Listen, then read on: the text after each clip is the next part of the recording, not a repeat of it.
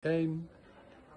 Het is misschien een eh, gekke gedachte, maar een van de grootste sportieve hoogtepunten van Amsterdam-Noord was midden in de Tweede Wereldoorlog. In 1944 werden de Volenwijkers kampioen van Nederland. De Volenwijkers die speelden op het Mosveld, waar nu de Eitunnel naar boven komt, waar een markt is. Dat was vroeger het stadion van de Volenwijkers en dat was het beste team van Nederland. Eén keer kampioen geworden en dat was midden in de oorlog. En wat gebeurde er?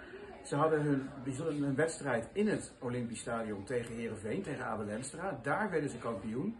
Maar er was in die tijd op de zondag geen tram meer. Dus iedereen ging lopend naar huis van het Olympisch Stadion via het Leidseplein naar de Pont en dan naar het Mosveld.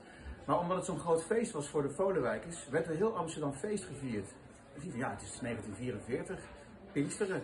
En opeens gaat iedereen feest vieren. Weet je wat, we doen mee. Dus heel Amsterdam ging feest vieren met de Volenwijkers. Of ze dan wel of niet van voetbal hielden.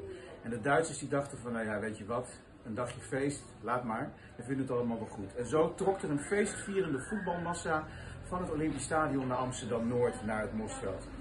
Over sport in de Tweede Wereldoorlog heb ik een boek gemaakt. Ik kom zelf ook uit Amsterdam-Noord, dus dat vind ik wel grappig om dat erbij te vermelden. Het gaat niet alleen over Amsterdam-Noord, het gaat ook over voetbal, over korfbal, over de Olympische Spelen in Nederland, in het buitenland. Maar wat er is gebeurd bij sport in de Tweede Wereldoorlog. En om af te sluiten één dingetje om over na te denken. Door corona duurde het ongeveer vier weken voordat de Nederlandse sport stil lag. Door de Tweede Wereldoorlog duurde het ongeveer vier jaar voordat de Nederlandse sport stil lag. Ga op zoek naar de verschillen tussen de coronatijd en de Tweede Wereldoorlog en sport. En zoek naar het sportieve hoogtepunt vanuit Amsterdam-Noord. Volenwijkers, 1944, kampioen van Nederland. Hier in deze boekwinkel te koop.